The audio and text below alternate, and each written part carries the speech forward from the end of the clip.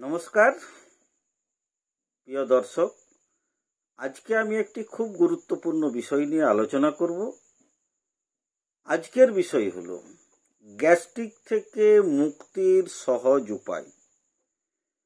বর্তমান দিনের আমাদের যে খাদ্যাভ্যাস, তাতে আমরা কিন্তু প্রত্যেকেই কিছু না কিছু গ্যাস অম্বল অর্থাৎ গ্যাস্ট্রাইটিসের সমস্যায় ভুগছি। তাই চলুন শুরু করা যাক।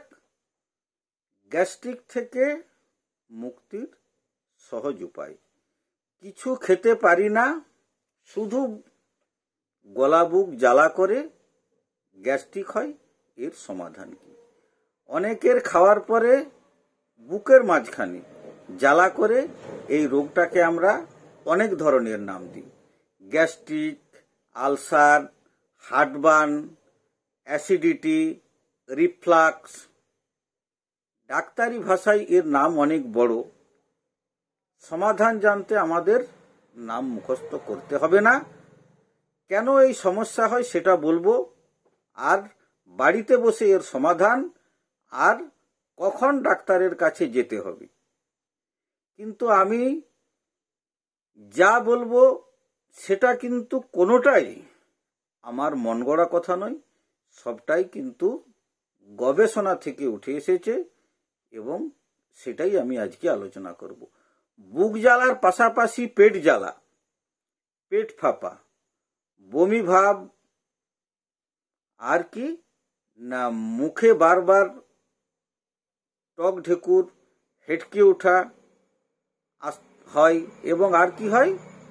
না, অনেক সময় দেখবেন যে নাক দিয়েও একটা ঝাঁঝালো গন্ধ হয়, এবং আমরা যখন কিছু খাই, সেই খাবার পেটটা ভার হয়ে যায়, চুয়া চুয়া ঢেকুর দেয়, একেই আমরা বলি গ্যাস অম্বল, অর্থাৎ গ্যাস্ট্রাইটিস আর কি না, আমরা যখন কিছু খাবার খাই, তখন সেই খাবার আমাদের পাকস্থলিতে যায়। আর পাকস্থলিতে অ্যাসিড থাকে, আরও কিছু জিনিস থাকে এবং এই খাবার আর অ্যাসিড দুই পাকস্থলীর কিন্তু নিজ দিকে যায়। আর এই খাবার, অ্যাসিড কিছু কিছু সময় কিন্তু উপরের দিকে যায়, তখনই কিন্তু আমাদের গলা বুক জ্বলা করি। কিন্তু এই নির্দিষ্ট কিছু খাবার কারু কারু খেলে আবার যেমন গলা বুক জ্বালা করে বিশেষ করে যেমন বেশি মশলা দিয়ে রান্না আচ্ছা কেউ কেউ ধূমপান করলে কিন্তু এই ধরনের সমস্যাটা দেখবেন বেশি হয়। আবার কি না কেউ কেউ যদি অত্যাধিক টেনশন করে, তাহলেও কিন্তু এই ধরনের সমস্যা হতে পারে। আর কি, না কেউ যদি অনেক সময় সুগার প্রেশার অ্যাসপ্রিন জাতীয় খাবার খেলেও কিন্তু এই ধরনের অ্যাসিড বা গলা বুক জ্বালা করে, তবুও আমি বলব যে আমরারা দমদাম করে কিন্তু নিজেরা কোনোভাবেই ওষুধ বন্ধ করবেন না। দরকার হলে ডাক্তারবুর পরামর্শ নিন, কারণ হঠাৎ করে ওষুধ বন্ধ করে দিলেও কিন্তু শরীরের পক্ষে ক্ষতি। আর কি, না অত্যাধিক যদি মোটা হয়ে যান, তাহলেও কিন্তু অ্যাসিড হয় বা গ্যাস হয়। শুধু মোটা হয়ে যাওয়া অ্যাসিডের জন্যই নয় মোটা হয়ে গেলে কিন্তু আপনার সুগার প্রেশার হার্ট, নানা রকম কিন্তু সমস্যায় আপনাকে ভুগতে হবে। অর্থাৎ শরীরকে আপনাকে একটা নিয়ন্ত্রণ বা ওয়েট অনুযায়ী আপনাকে খুব বেশি মোটা কিন্তু হওয়া চলবে না এবং আপনাকে সেটা তার একটা লিমিটেশন রাখতে হবে। তাহলে কিন্তু আপনি শুধু গ্যাস থেকে মুক্তি নয়, বিশেষ করে আপনার এই ধরনের সমস্যাগুলো থেকেও আপনি কিন্তু মুক্তি পাবেন। আচ্ছা এরপরে চলুন আমি এই প্রসঙ্গে আসব যে আমরা গ্যাস অম্বল কীভাবে সারাবো। অর্থাৎ বাড়িতে বসে। এর আগের ভিডিওতে একদিন আপনাকে আলোচনা করেছিলাম যে শুধু ডাক্তারবাবু বা গ্যাস অম্বল আপনি সারাতে পারবেন না, গ্যাস অম্বল আপনাকে নিজেকে নিজেকে সারাতে হবে। আপনি যে প্রচুর ওষুধপত্র খাওয়া, ঘন ঘন ডাক্তার দেখিয়ে আপনি কিন্তু কোনোভাবেই গ্যাস অম্বলকে সারাতে পারবেন না। কিন্তু আপনাকে নিজেকে সচেতন হতে হবে। তো আজকে আমি সেই কারণগুলো আপনাদের সাথে আলোচনা করছি যে কীভাবে আপনি বাড়িতে বসে এই গ্যাস অম্বল থেকে মুক্তি পাবেন।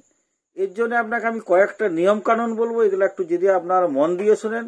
আমি কথা দিচ্ছি যে আপনারা কিন্তু গ্যাস অম্বল থেকে এইটটি পার্সেন্ট মানুষ কিন্তু এর থেকে মুক্তি পাবেন। আপনি কি করবেন না প্রথম যে আপনি যে খাবার খান, প্রচুর পরিমাণে বিভিন্ন রকম খাবার পেট ভর্তি করে কিন্তু আপনাকে খাওয়া চলবে না। আপনি যদি প্রচুর খাবার পেট ভর্তি করে খান, তাহলে কি হয় না, পাকস্থলীটা ফুলে ওঠে।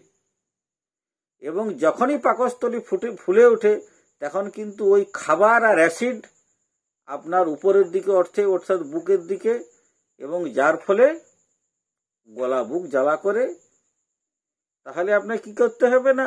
ও প্রচুর পরিমাণে খাবার কিন্তু খাওয়া চলবে না, যার ফলে যে পাকস্থলীটা ফুলে যেমন একটা বেলুন। বেলুন যেমন ফুলে ওঠে, সেরকম পাকস্থলীতে কিন্তু আমাদের ফুলে ওঠে। আপনি যদি প্রচুর পরিমাণে খাবার খান, এটা আপনাকে নিয়ন্ত্রণ করতে হবে। দু নম্বর কারণ হলো যে কম কম খাবেন, বারে বেশি খাবেন। অর্থাৎ খিদা পেলে একবারে আপনি পেট ভর্তি করে গলা পর্যন্ত খাবেন, সেটা কিন্তু কোনোভাবেই করা যাবে না। তাহলেই কিন্তু আপনার খাবার আর অ্যাসিড উপর দিকে উঠে গলা বুক জ্বালা হবে, এটাকেই আমরা গ্যাস্ট্রাইটিস বলি। আপনাকে অল্প অল্প খেতে হবে, বারে বেশি খেতে হবে। বারে কেন বেশি খেতে হবে? না, বেশিক্ষণ যদি আপনি খালি পেটে থাকেন, তাহলে কিন্তু পাকস্থলিতে এক ধরনের ক্ষত হতে পারে এবং তাতে সমস্যা হতে পারে। সেই জন্যে কিন্তু আপনাকে কি করতে হবে না কম কম খেতে হবে আর বেশিক্ষণ খালি পেটে থাকা চলবে না।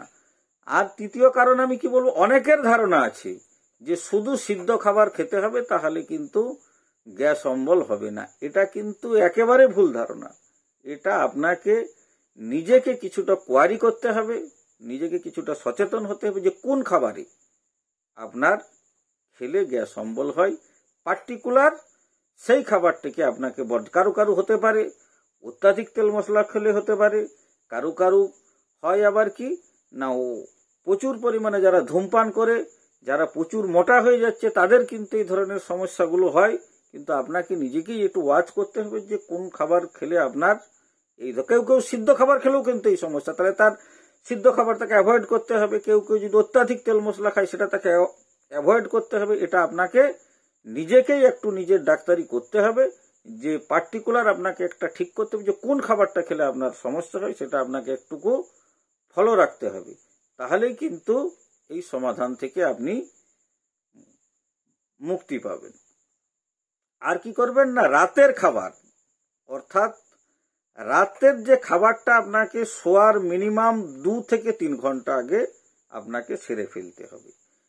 কারণ আপনি যখন যদি রাত্রি এগারোটায় শুতে যান, অন্তত আমি বলব আটটা থেকে সাড়ে আটটার মধ্যে কিন্তু আপনাকে রাত্রের ডিনারটা আপনাকে সেরে ফেলতে হবে। কারণ আপনি খাবার পরেই যদি শুয়ে পড়েন, তাহলে ওই খাবার আর অ্যাসিড কিন্তু আপনার অনেক সময় উপরের দিকে আসতে পারে, মুখের দিকে, আর তখনই আপনার কিন্তু গলা বুক জ্বালা করতে পারে। অর্থাৎ যদি আপনি দু ঘণ্টা কি তিন ঘণ্টা পরে শুতে যান, তাহলে কিন্তু অনেকটা খাবার আপনার পাকস্থলীর নিজ দিকে চলে যাবে। সেক্ষেত্রে ওই ধরনের সমস্যাটা একেবারেই কম হবে। আর কি করবেন? না, আপনি যে বিছানাতে শুবেন, কমর থেকে মাথার দিকটা আপনি দেখবেন যেন এক দু ইঞ্চি অন্তত সেটা উঁচু হয়। কারণ আপনি দেখবেন যে আমাদের পাকস্থলিতে খাওয়ার পরে যদি আমরা সমানভাবে শুয়ে পড়ি, তাহলে দেখবেন যে ওই খাবার আর অ্যাসিড কিন্তু উপরের দিকে আসে। সেক্ষেত্রে আমি বলব যে বিছানাটা কমর থেকে উপরের দিকে, অর্থাৎ পেটের উপর থেকে, মাথা পর্যন্ত কিছুটা উঁচু করবেন। তাহলে দেখবেন অনেকটা ভালো থাকবেন। কিন্তু এই আপনি যদি বলেন যে বালিশ উঁচু করব। বালিশ উঁচু করাটা কিন্তু খারাপ, কারণ বালিশ উঁচু করলে আবার নানা রকমের সমস্যা হবে। সেক্ষেত্রে আমি বলব যে একটুকু দেড় থেকে দুই ইঞ্চির মতো কিন্তু আপনি যদি ওই কমরের পর থেকে মাথা পর্যন্ত একটু বিছানাটা উঁচু করতে পারেন, তাহলে আমি বলব খুব ভালো হয়। এই তো গেল আমাদের যে বাড়িতে বসে কীভাবে আমরা গ্যাস থেকে মুক্তি পাবো, কিন্তু হ্যাঁ সব রোগেই যে আমাদের বাড়িতে বসে আমাদের মুক্তি হবে, এই ধারণাটাও কিন্তু ভুল। তো কখন আমরা ডাক্তারের কাছে যাব, এই নিয়েও আলোচনা করব। তো তার আগে আপনাকে বলব যে ওজন আপনাকে কিন্তু নিয়ন্ত্রণ করতে হবে। যদি আপনার অতিরিক্ত ওজন হয়, তাহলেও কিন্তু গ্যাস অম্বল হবে। এবং শুধু গ্যাস অম্বল নয়, অত্যাধিক যদি আপনার ওজন হয়, সেক্ষেত্রে ডায়াবেটিস সুগার প্রেশার অনেক কিছু সমস্যায় আপনি ভুগতে পারেন। অর্থাৎ আমি আপনাকে বলব যে যারা অত্যাধিক ওজন বা মোটা হয়ে যাচ্ছেন, তারা কিন্তু এটাকে একদম নিয়ন্ত্রণ করুন। শুধু গ্যাস অম্বল নয়, তার সাথে কিন্তু আপনার নানা রকম রোগ কিন্তু যুক্ত হয়ে যাবে। আর কি বলব?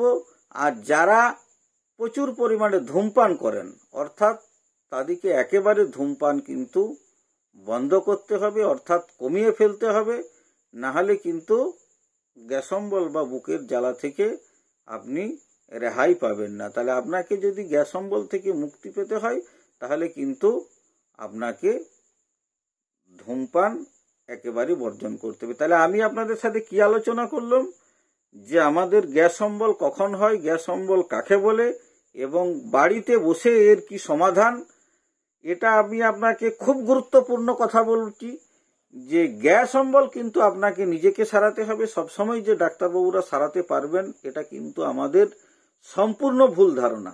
গ্যাস অম্বল হলে প্রথম আপনাকে কিন্তু এই নিয়মগুলো মেনে চলতেই হবে, অর্থাৎ বেশিক্ষণ খালি পেটে থাকবেন না, একবারে মুখ অবধি খাবার খাবেন না, আর বেশিক্ষণ খালি পেটে থাকবেন না, কারণ অনেকক্ষণ খালি পেটে থাকলেও কিন্তু আমাদের পাকস্থলিতে আলসার হয়, তার থেকে নানা রকম সমস্যা হয়। তাহলে এরপরে আমি আপনাদের সাথে আলোচনা করব। শেষ আলোচনা আমার যে কখন আপনি ডাক্তারবাবুর কাছে যাবেন। যে আপনি কখন ডাক্তারবাবুর কাছে যাবেন। এই যে বাড়ির যে সমাধানগুলো বললাম, এর পরেও কিন্তু আমাদের একটা বড় নানা রকম সমস্যা কিন্তু হতে পারে। তখন কিন্তু আমরাকে ডাক্তারবাবুর কাছে যেতে হবে। ধরুন আপনার কোনো কারণ ছাড়া, আপনি কোনো ডাইটিং করছেন নি কিছু করছেন নি অথচ আপনার ওয়েট আস্তে আস্তে করে ক্রমশ লস হয়ে যাচ্ছে। কোনো কারণ ছাড়া।